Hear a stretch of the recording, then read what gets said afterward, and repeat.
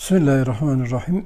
Elhamdülillahi Rabbil alemin ve salatu ve selamu ala seyyidina Muhammedin ve ala ala seyyidina Muhammed. Değerli kardeşlerimiz, ismi kayyuma devam ediyorduk. Son dersimizde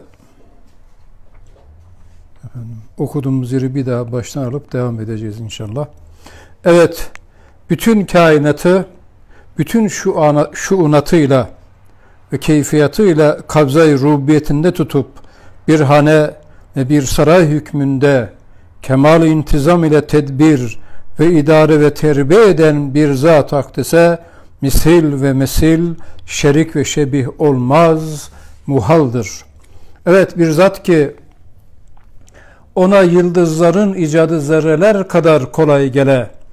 Evet en büyük şey, en küçük şey gibi kudretine musahhar ola ve hiçbir şey hiçbir şeye hiçbir fiil hiçbir fiile mani olmaya ve hassiz efrat bir fert gibi nazarında hazır ola ve bütün sesleri birden işite ve umumun hassiz hacatını birden yapabile ve kainatın mevcudatındaki bütün intizamat ve mizanların şehadetiyle hiçbir şey, hiçbir hal, daire-i meşiyet ve iradesinden hariç olmaya ve hiçbir mekanda olmadığı halde her bir yerde ve her bir mekanda kudretiyle, ilmiyle hazır ola ve her şey ondan nihayet derecede uzak olduğu halde o ise her şeye nihayet derece yakın olabilen bir zat-ı hayy kayyum zülcelalin elbette hiçbir cihette misli, nazırı, şebihi, veziri, zıddı, nıddı olmaz ve olması muhaldır. Yalnız mesel ve temsil suretiyle şunat-ı kutsiyesine bakılabilir. Risale-i bütün temsilat ve teşbihat bu mesel ve temsil nevindendirler. Evet. Son dersimizde Cenab-ı Hakk'ın kudretine nispeten en büyük şeyle en küçük şeyin arasında fark olmadığını, cüzde küllün, değil mi? zerre ile galaksilerin kudret ve tasarrufat rubiyet noktasından Cenab-ı Hakk'ın kudretine nispeten farkı bulunmadığının sır ve hikmetleri üzerinde konuşmuştuk. Ee, Allah'ın sonsuz kudretine nispeten bir çiçekle bir baharın, bir baharla cennetin cennetin farkı yoktur demiştik. Bunu bu mesele Risale'de çok hakimane beyan edilmiş. Geçen hafta üzerinde durmuştuk. Çok hılasa, hulas bir şekilde özetleyerek dersimize devam edelim. Birinci nokta demiştik ki nedir? Fail muktedirdir. Cenab-ı Hak yerleri ve gökleri bütün mevcudat ve mahlukatı yaratmış. İşte şu yaratılıştaki intizam, mükemmellik, mülk ilahinin vusatı tasarrufatı ilahiyedeki hikmetler, maslahatlar, güzellikler, rahmetin tanzimi, hikmetin taltifi, inayetin teşkili gibi cihet ve vecihlerle aleme baktığın zaman neyi anlıyoruz? Cenab-ı Hakk'ın azametine mikyas ancak mecmu asarıdır. Bütün asar ilahi Allah'ın şan uluhiyetin azametini, rububiyet ilahiyenin kemalatını gösteriyor. İşte böyle bir kudretin nazarında bir çiçekle bir cennetin farkı yoktur. Ustad ne diyor? Cennet de görülmedik nedir? Bir çiçektir. Bir bunun üzerinde durmuştuk. İkincisi kudreti ilahiye zatiyedir, mutlaktır, nihayetsizdir, hassizdir. Öyleyse az tahallül edemez. Cenab-ı Hakk'ın kudretinde mertebeler yoktur. Namütenahi ve sonsuzdur. Kudreti ilahiye kemalda namütenahi ve zati olduğundan dolayı Allah'ın kudretinde meratip yoktur. Mutlak kudrete nispeten en küçükle en büyüğünde farkı olmadığını geçen derste beyan etmiştik. Üçüncüsü Cenab-ı Hakk'ın kudretinin eşyaya kayyumiyetin tecellisi. Cenab-ı Hakk'ın kudreti eşyanın melekut cephesine tezahür ve tecelli ettiği cihette meseleyi ifade etmiştik. Mesela bir fabrika var. Fabrika çok büyük, çok muhteşem, çok muazzam, çok çarkı var. Çok aksamı var, füruat ve teferruatı var. Tamam, fabrika ismi zahir mülk noktasından bakınca çalışıyor. Ama melekut cephesiyle çalışmanın arkasındaki sırrı azim nedir? Elektriktir. Şarteli çektiğiniz anda fabrika durur, her şey biter. İşte kainatı da muazzam, muhteşem, mükemmel bir fabrikaya teşbih edersek Cenab-ı Allah adetullah kanununa memri, mebni kainatta sebepleri yaratmış, sebepleri birbirine bağlamış ama muktedir, müessir, Cenab-ı Hakk'ın kudretidir ve kayyumiyetidir. Demek kayyumiyet ilahiye bir anı seyyala kainattan çekilse kainat biter, her şey helak olur gider. Bunun üzerinde durmuştuk. Üçüncü noktada Cenab-ı Hakk'ın kudretinin eşyaya taalluku nispeti kanunudur. Kudretin eşyaya nispeti kanunudur. Çoğa aza, büyüye, küçüğe bir bakar. Üstad şu meseleyi gamızayı diyor. Yani gamıza çok derin ve anlaşılması müşkül olan bu meseleyi altı temsil ile çok hakimane ifade etmiş. Hakikaten İsa-ı Nur'da e, bu kısımlar fevkalade orijinal. Bu bahisler 29. sözde, 10. E, sözde, 20. mektupta Sunat risalelerinde birçok yerde ifade edilmiş. Bunu biz hulasa itibarıyla ifade edersek, bakın temsillerden birincisi şeffafiyet sırrı. Cenab-ı Hakk'ın kudretinin esbaba, kudretinin eşyaya nispeti kanunidir. Demek çokla azın, büyükle küçüğün farkı yoktur. Mesela suyun kaldırma kanunu var. Allah suya kaldırma kanunu vermiş. Bak, suyun kaldırma kanununa göre bir tahta parçasını atarsanız Akdeniz'e atın, Büyük Okyanus'a atın. O su, deniz tahta parçasını kaldırır mı? Kaldırır. Dünyanın en büyük filosunu koyun. Suyun beri kırılır mı? Ezilir, mahvolur mu? Demek suyun kaldırma kanununa nispeten kırık bir tahta, tahta parçasıyla en büyük deniz filosunun farkı yoktur. Şimdi bu temsillerden birincisinde şeffafiyet sırrını nazarımıza sunuyor. Buna en güzel bir misal da güneşin feyzi tecellisini veriyor. Güneşin feyzi tecellisi, timsali ve aksiyle bütün deniz yüzüne ve denizlerin her bir katresine aynı hüviyeti gösterir. Yani faraza e, şöyle düşün, küre arzdaki bütün eşyalar, mahlukattan hepsi şeffaf cam parçalarından ibaret olsa, hepsi cam, hepsi kristal. Güneşin aksi ve feyzi her bir parçada, zemin yüzündeki her bir aksamda müzaharet, tecezzi ve parçalanma olmadan hepsini aynı anda tecelli eder miydi? Ederdi. Daha işi netleştirirsek, eğer güneş faili muhtar olsaydı, yani feyzi ziyasını, timsal aksini iradesiyle vermiş olsaydı, o zaman o güneş, tek bir güneş, zemin yüzündeki feyzini bir zerreye verdiği gibi daha büyük ağır şeylere de verebilir. Az da çoğun tek bir parça cam parçasıyla çok muazzam ve büyük cam parçalarının farkı olmazdı. Hakikaten bu misalın ışığında baktığımız zaman demek ki şeffafiyet sırrıyla güneşin feyzi ziyasının bir zerre ile zemin yüzündeki bütün mahlukata tecelli etmesinde fark yoktur. Şimdi bunu neye delil getiriyoruz? Demek ki bu sırra mebni Cenab-ı Hakk'ın kudretine nispeten efendim yıldızlarla zerrelerin farkı yoktur. Küçükle büyüğün farkı yoktur. Bir çiçekle bir baharı yaratılmasının bir baharla cennetin yaratılmasının farkı yoktur. İkinci temsil olarak mukabele sırrını dikkatlerimize sunuyor. Mukale, mukabele sırrında da bir misal veriyor. Çok böyle muazzam, muhteşem bir daire çizin. Hayalinizde bu daireyi büyütebilirsiniz. 5 kilometre, 10 kilometre, 100 bin kilometre fark etmez.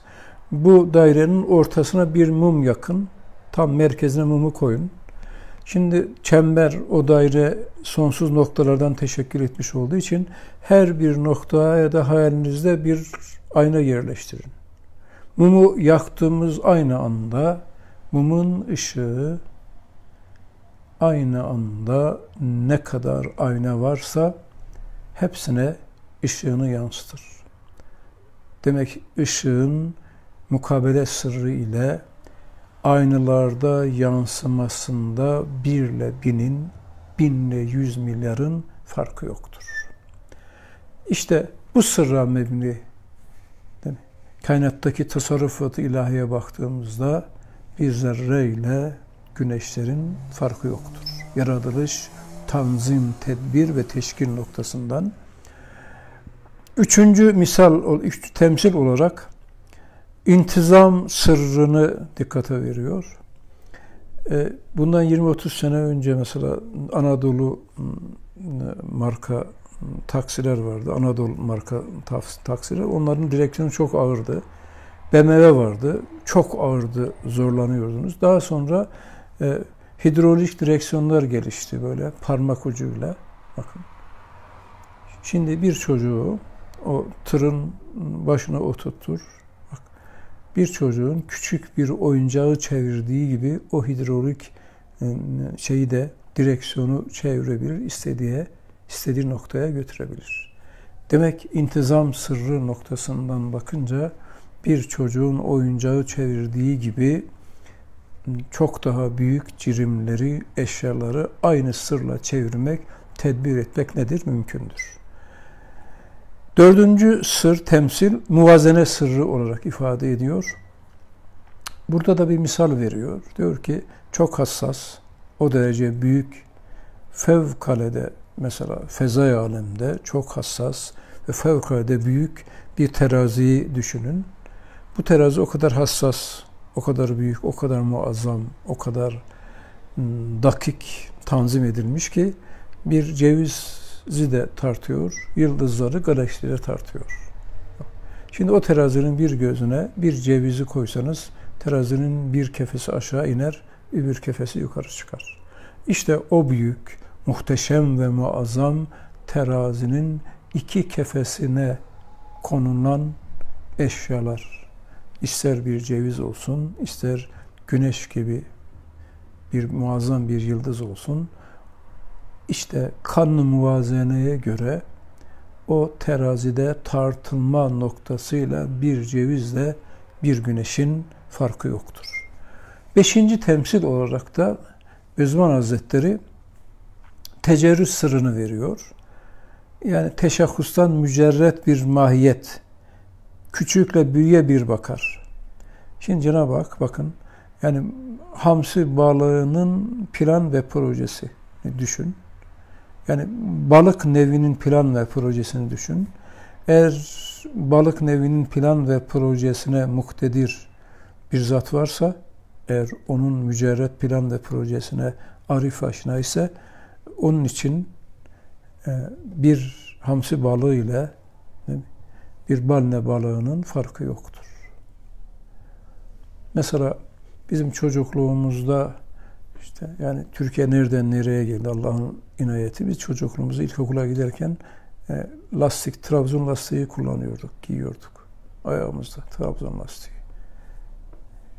İşte 20 numara var, 25 numara var, 30 numara var, 40 numara var, 44 numara var. Bir de adam çok şeyse cismaniyeti ayakları büyükse değil mi?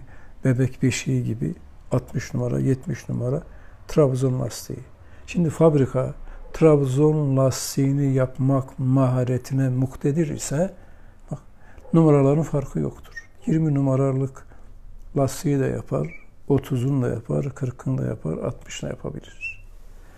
Demek bu noktaya nazardan bakınca kainatta mikrobun yaratılmasıyla gergedanın yaratılması noktasından tecelli sırrı ile fark yoktur. Altıncı temsil olarak itaat sırrını ifade ediyor. Hakikaten itaat sırrı da çok düşündürücü, fevkalade önemli. Mesela bir kumandan, bir kumandan azam ağzından çıkan bir tek kelime ile yani arş emri ile üç neferi, üç askeri yürütebilir mi? Yürütür. Aynı kumandan yine tek bir kelime arş emriyle üç ordu yürütür mü? Yürütür. Demek yeter ki kumandanın ağzından arş emri çıksın. Arş emrine nispeten üç neferle üç ordunun farkı yoktur. İşte bu da nedir? İtaat sırrıdır. Evet.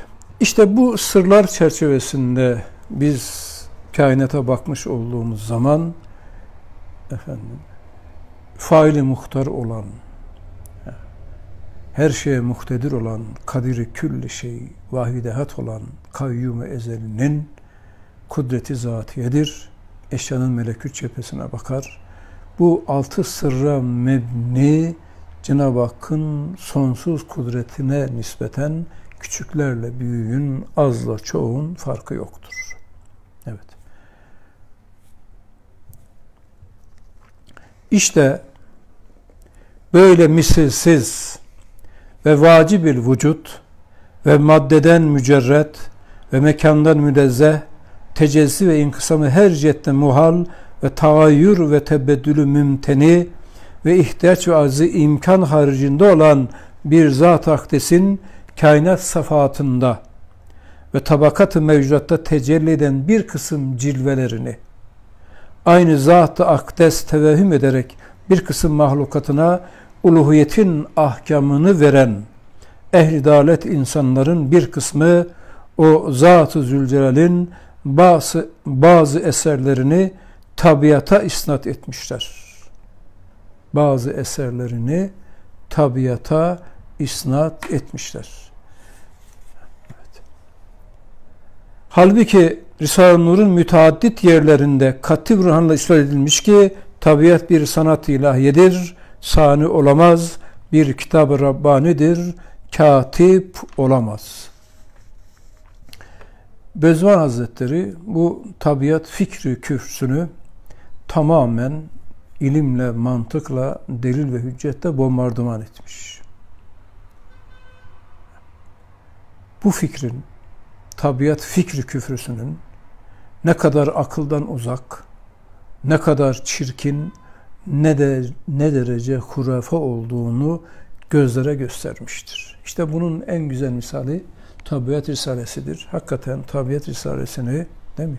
Ehli tahkikin, ehli tetkikin, ehli fennin dikkatle, ibretle ve bir de altını çizerek hakimane okumasını tavsiye ediyoruz. Gerçekten bu Tabiat Risalesi tabiattan gelen fikri küfrüyü dirilmeyecek bir surette öldürmüş, küfrün temel taşlarını zürüzeber etmiştir. Üstad orada bir tespit yapıyor. Diyor ki bu filozoflar, bu akılsız, güya akıllı, hakikat noktasını bu akılsız filozoflar bu kadar aşikare hurafayı nasıl kabul etmişler? Buna cevap veriyor. Üç nokta altında cevap veriyor. Birisi diyor, bu filozoflar mesleklerinin iç yüzlerini görememişler. Birincisi bu. İkincisi bozulmuş akılları yetişemediği için ne? akılları bozulmuş akılları sefaatle, ahlaksızlıkla, küfürle, inkarla, ya, dalalet ve sapıklıkla akılları bozulduğundan dolayı yetişemediğinden hurafa demişler akıllarının yetişemediği meseleye ne damgasını basmışlar? Hülefa da hurafa damgasını basmış, basmışlar. Üçüncüsü dinsizliklerini Allah'a inanmıyor. Tek bir Allah'ın vahdetini kabul etmediklerinden dolayı dinsizliklerini tabiata bağlamışlar. İşte Bezzama Hazretleri bu üç yolun fevkalade batıl olduğunu ifade etmiş. Tabiat Risalesi'nin başında bir tespit yapıyor. Çok hakimane bir tespit. Buyuruyor ki değil mi? eşya sanatlıdır. Bakın Allah'ın yarattığı her şey mucize. Her şey mükemmel. Her şey dakik, her şey ölçülü. Her şey kudret ilahiyenin mucizesi, hikmet ilahiyenin harikası. Her şey mükemmel, kalıptan dökülür gibi müzeyyen ve mükemmel yaratılmış. Burada üç fikir, üç batıl yol. Bu üç batıl yolu tamamen ne yapıyor? Çürütüyor. Akılla, mantıkla, muhakeme ile, delil ve hüccetle çürütüyor. Bu üç yoldan birincisi ne? Eşya kendi kendine olmuş. İkincisi sebepler yapmış. Üçüncüsü tabiat icat etmiş. Şimdi bakın tabiat risalesini baştan sona okumak zamanımız da uygun değil, vaktimiz de yok ama şu üç meseleyi çok kısa ifade edelim. Birinci batıl yol kendisi eşya. Eşyanın kendisi yani dünyada yaratan hangi şeye bakarsanız bakın o bir kedi, bir köpek, bir çiçek, bir arı, bir taş, bir kaya, bir yıldız ve bütün kainat. Kendi kendine oldu. Bakın bu cümlenin içerisinde zerre kadar mantık yok, muhakeme de yok. Şimdi tahlil edelim. Eşya, evet, kendisi kendini yarattı. Bakın şimdi mantık. Eşyanın kendisi varsa daha yaratılmaya muhtaç değil. Bak var. E kendisi yoksa kendisi olmayan şey nasıl kendisini yararsın? Bu tamamen ne? Muhal. Bunu geçelim. İkincisi sebepler yarattı. Şimdi ilaçların malum e, ilaçların e, eczanede satılabilecek süreci 10 sene, 15 sene, bazen 20 seneye kadar uzanır. Bak. Bir ilacı yapmak için önce bak, kimyager olmak gerekiyor bir. Bütün elementlerin vasıf, elementlerin vasıf ve sıfatlarını bilmek gerekiyor. Bu bir. Sadece bunları bilmek yetiyor mu? Hayır yetmiyor. Yıllarca uğraşıp mesela bir aspirin yapılacak. Aspirinin açık formülünü bulmak için yıllarca sınama ve deneme ile e, kafa çatlatarak, çatlatarak çalışmak gerekiyor ki aspirinin açık formülü bulunabilsin. İşte biliyorsunuz çünkü şu anda bütün Rusya, Amerika, dünya şu değil mi? Virüs için ne yapıyorlar? Aşı savaşı yapıyorlar. Bak çalışıyorlar gece gündüz. Binlerce bilim adamı. Demek sadece kimyager olmak yetmiyor. İkincisi yani o mesela aspirinin diyelim ki aspirin yapılacak onun açık formülünü bilmek gerekiyor. Üçüncüsü o aspirindeki elementlerin kaç miligram olduğunu hassas tarazi ile tartmak gerekiyor. Kimyager olacaksın, elementlerin vasıf ve sıfatlarını bileceksin. O ilacın yıllarca formülünü ortaya çıkartacaksın, icat edeceksin Sonra o formüllere mebni o elementleri çok hassas terazide tarttıktan sonra o ilaç ortaya çıkabilir. Şimdi Bezmi Hazretleri'nin böyle manen atom bombası gibi bir misal veriyor. Bombardıman ediyor. Şimdi diyor ki mesela bir ilacı teşekkül ettirecek kimyasal maddeleri bir kavanoz, muhtelif kavanozlara koy. Bir dolapta şöyle bir rafta 40 tane 50 tane kavanoz, her kavanozun içerisinde ayrı ayrı kimyasal maddeler var. Sonra bir yel, bir sel, bir bora, bir fırtına veya git o şeyi sars, o rafı sars ve bir tekme vur, o kavanozlar yere düşsün, hepsi kırılsın, birbirine karışsın. O karışma, o anarşi, o deve içerisinde arkada bakıyorsun aspirin ortaya çıkmış. Bakın. Ne diyor? Bakın. Bakın diyor ki eşek diyor. Bakın. Yani böyle bir iddia kabul edilebilir mi? Diyor ki eşek affedersiniz muzaaf bir eşekliğe çıksa yani kat kat eşek olsa, bütün yedi sülalesiyle eşek olsa, sonra dönse insan olsa bu fikri kabul etmem diye kaçacaktır. Demek sebeplerin de hiçbir tesiri yok. Ben bazen söylüyorum gençlerle, küçük çocuklarla böyle sohbet ederken diyorum ki bakın şurada bir kağıt var. Bak Ahmet gel. Sana gördüğüm bir şeyi sana anlatacağım. Beni iyi dinle. Buyur amca diyor. Bak şurada masanın üzerinde bir kağıt vardı. Evet. Şurada bir de dolma kalem vardı. Evet. iki. E, bir de burada bir mürekkep şişesi vardı. Ahmet bak ben böyle duruyordum, baktım. Dolma kalem havalandı, kendi kendine havalandı, geldi. Mürekkepten, şişesinden mürekkep çekti. Sonra şu kağıdın üzerine şu mektubu yazdı desem Ahmet nedir? Der ki amca sende bir şeyler var. Yani yani seni ya Bakırköy'e ya da Elazığ'a göndermek lazım. Bakın 10 yaşındaki bir çocuğu kandıramazsınız. 500 sene bekleseniz mürekkep kalkacak. Değil mi? Dolma kalem kalkacak, mürekkep çekecek ve kağıdın üzerine yazılacak. Bak. Şimdi bu sebepler 100 bin sene kalsalar bak bir mektup yazamazlar, bir harfi meydana çıkartamazlar. Bak bu da ne? Muhal. Üçüncüsü diyor, tabiat icat etti. Bak, tabiat icat etti. Şimdi e, tabiat icat ettiğiyle ilgili Risale-i Nur'da Üstad birçok e, meseleleri ifade etmiş, misaller vermiş. Şimdi tabiat ne? Aslında tabiat Cenab-ı Allah'ın adetullah denilen ilahi kanunlarıdır. Biz buna ne diyoruz? Şeriat-ı fıtriye diyoruz. Bu kanunlar alettir, müessir değildir. Vücudu hariciyesi yoktur.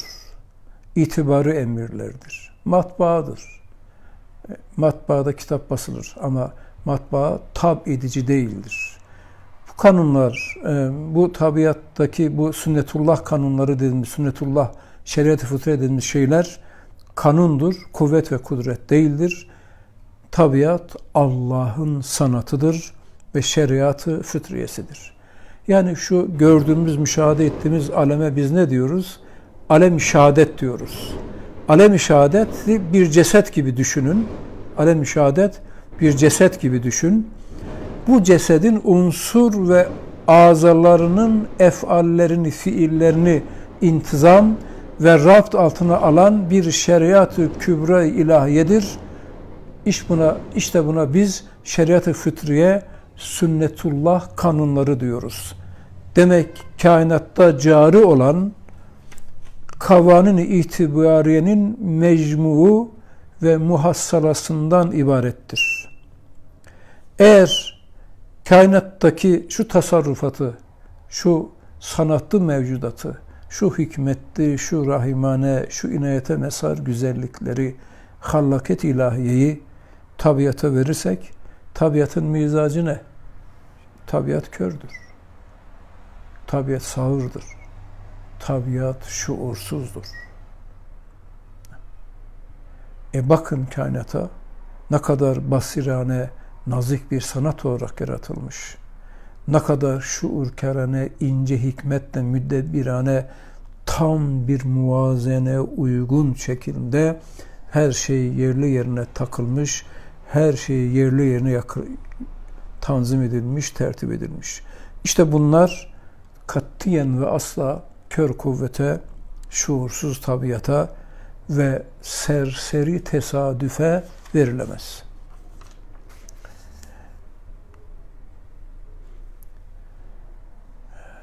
Tabiat sayesinde yani tabiat fikri küfürüsünü tart ederken Üstad birkaç misal veriyor. Bunlardan birisi şimdi Cenab-ı Hakk'ın yarattığı şu mevcuda bakın, şu sanat ilahiye bakın. Gayet sanatlı, değil mi? Gayet mükemmel ve gayet muhteşem. Şimdi bu sanat ve bu icat Allah'ın kalemi kader ve kudretine verilirse her şey gayet kolay, gayet makul. Cenab-ı Hak sonsuz kudretiyle mahlukatı, mevcudatı yarattı. Kalp tas, teskin olur, akıl hikmetle kabul eder. Eğer yaratılan mevcudat ve mahlukatı kör, sağır ve şuursuz tabiata isnat edersek o zaman karşımıza ne çıkar? Demek ki tabiat icat için her şeyde her mahlukta, her masnuda yaratılan her şeyde hassiz makine ve matbaaları var ki bu hassiz makine ve matbaalarla bu şeyi yapıyor ve yaratıyor. Ya böyle diyeceğiz. Veya her şeyde kainatı halk ve idare edecek bir kudret, bir hikmet, bir iradenin varlığını kabul etmek gerektir. Bu neye benzer? E, güneşin, semavattaki güneşin azametini, kudretini, tasarrufatını kabul etmeyen bir insan, güneşin cilve ve akislerini güneş kabul etse, bakın, o zaman güneşi inkar etse, güneşin vasıf ve sıfatlarını basit bir cam parçasında güneşin özelliklerini görse o zaman o cam parçaları sayısınca tabi güneşleri kabul etmek lazım gelir ki yani daha açıkçası her bir canlıda yaratılan her bir canlıda yaratılan her bir mevcutta hadsiz, nihayetsiz bir kudretin, hassiz, müessir bir iradenin ve nihayetsiz ilim ve hikmeti taşıyacak bir tabiatı, bir kuvveti, daha açıkçası adeta bir ilahı.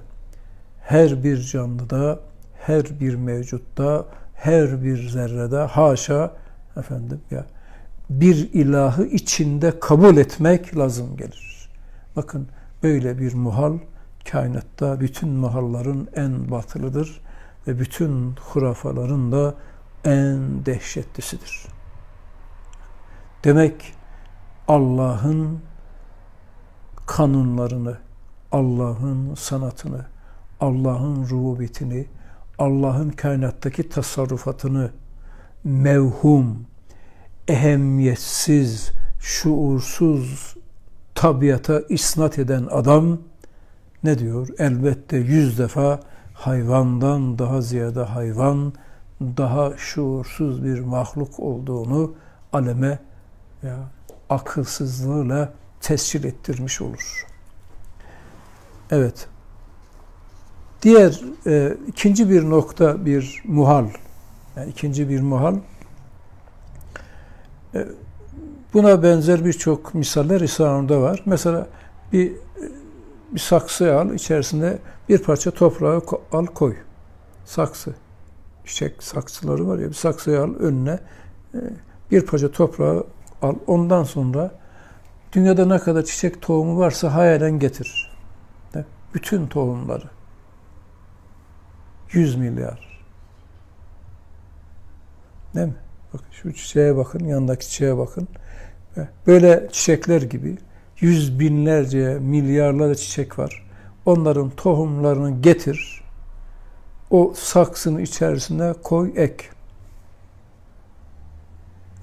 ek. Değil mi? Sünnetullah kanununa göre değil mi? Üç günde, üç haftada, bir ayda bak birini ek çıkart yerine ikinciyi ek.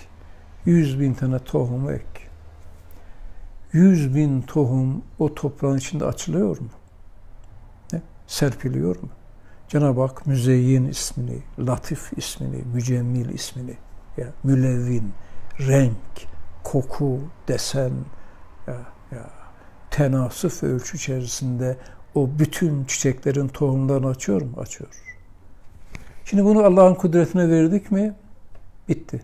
Ama Cenab-ı Allah'ın kudretine vermezsek o zaman bu saksının içerisindeki her bir toprağın parçasında yüz binlerce belki milyarlarca her bir çiçeğin ayrı ayrı tabi bir makinesi olduğunu kabul etmek gibi bir hezeyana insan düşmüş olur. Şimdi bakıyorsun, şimdi o çiçeklere bakın. Hepsinin teşkilleri ayrı gayet muntazam, mucizeli ve sanatlı olarak yaratılmış. Demek usta diyor ki bir kase toprakta manen Avrupa kadar belki dünyalar kadar manevi ve küçük mikyasta matbaaları ve fabrikaları kabul etmek gerektir. Bakın bu nasıl bir divaniliktir.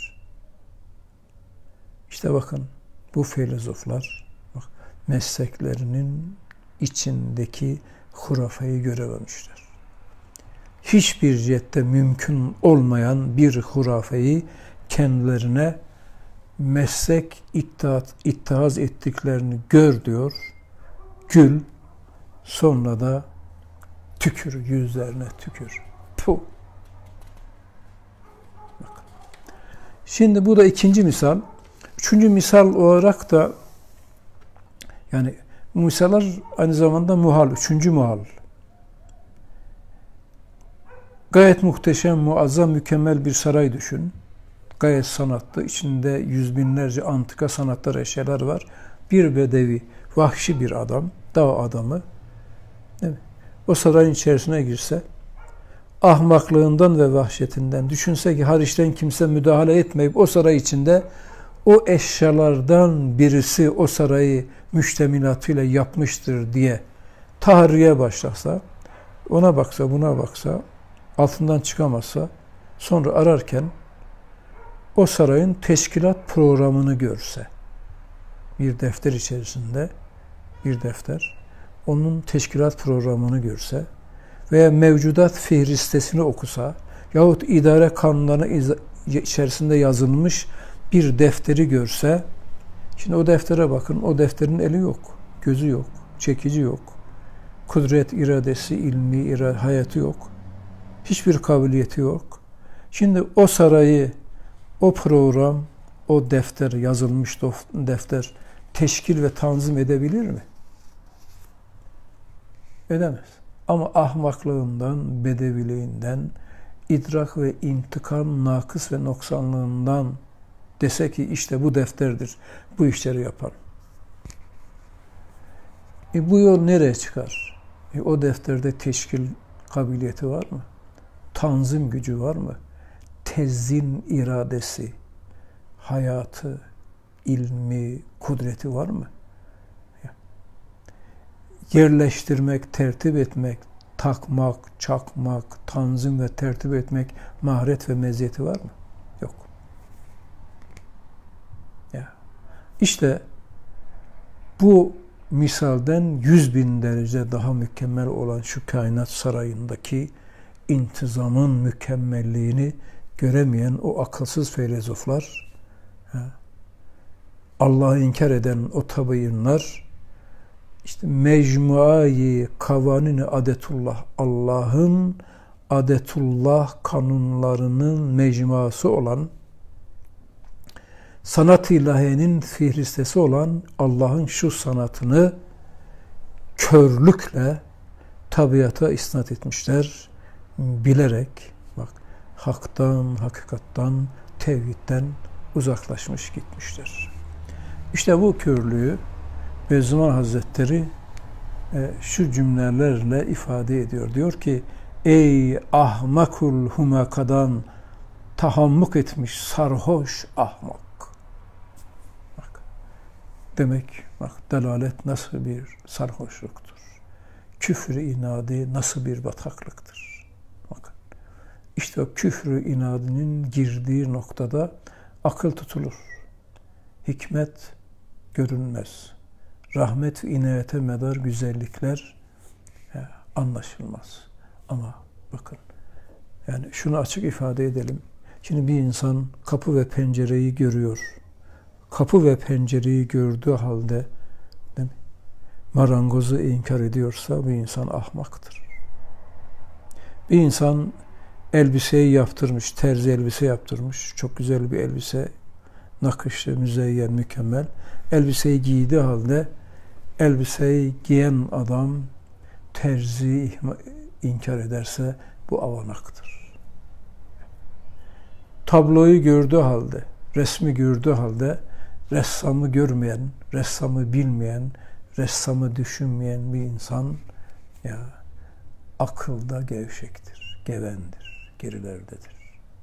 Elhasıl tabiat risalesinde bu bu meselenin hakikatini ıı, tabiat risalesine havale edip özetleyelim. Demek tabiat nedir? Tabiat sanatı ilahiyedir. Tabiat Allah'ın antika, mucize, mükemmel bir sanatıdır. Asla sani, usta olamaz. Tabiat nedir? Tabiat nakş-ı Rabbani'dir. Rab olan Allah'ın, müzeyyin olan Allah'ın, mukaddir olan Allah'ın, musavvir olan Allah'ın, munazzım olan Allah'ın nakşıdır. Tabiat asla ve asla nakkaş olamaz.